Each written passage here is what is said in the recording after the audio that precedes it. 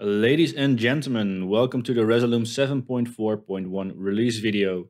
In this video, we'll go through the new features found in this update. Note that this update is solely focused on Wire, but expect some cool Arena and Avenue updates soon. During our release stream two weeks ago, we got a request to add the ability to read and count the amount of lines and words in a string.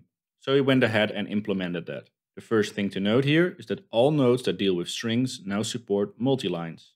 So now you can put huge amounts of your favorite poetry right into Wire. Next up are the count line and count words nodes. These nodes take a string and output how many words or lines are in the string. To complement these, we have the read line and read word nodes. These will take a string and output a single line or a single word from that string set by the index. My patch here demonstrates the use of these nodes. We take this multi-line string, the white text is the string rendered as a whole.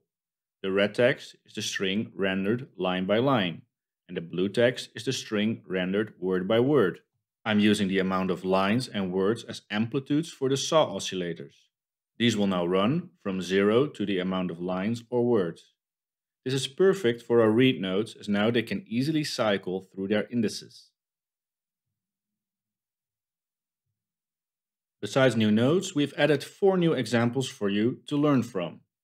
The screen shake effect will booty shake your content to the next level.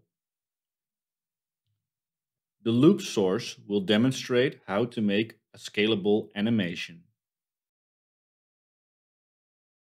The moving bar source explains how to make complex sources and integrate them with Arena and Avenue.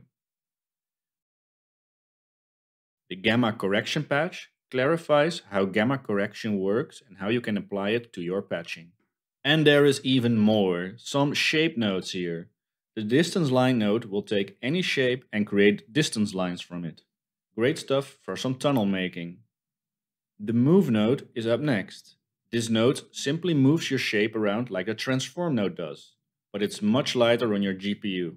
So whenever you need to move something around, move is the way. We've also added shape2d support for the negate node. This simply creates a negative of the shape you're currently working with. This is great if you want to create some cool masks. And lastly, the big one, the polygon node. This node takes a float2 collection and turns it into a polygon shape. Anything from this octagon to this mess is possible. And as you can see, the normal shape operations like edge, union and subtract are also possible allowing me to combine this mess with my nice octagon. The circle pattern node can be used to create any n-gon you want. You can use the angle parameter to get even more funkier. Talking about upping the funkiness, here I have combined all the new shape nodes into one patch. I've used the circle pattern node to create a hexagon and I'm modulating it with some sine oscillators. This collection is used to create a polygon, which I subtly move around with a new move node. Next, I create distance lines from the polygon while modulating the distance with yet another sine oscillator. I negate the shape and I use the switch to switch between the negated and the original shape. This gets rendered and thrown into a feedback loop and we end up with this funky piece of generative content. And that was it for this update. We hope you are having fun with Wire.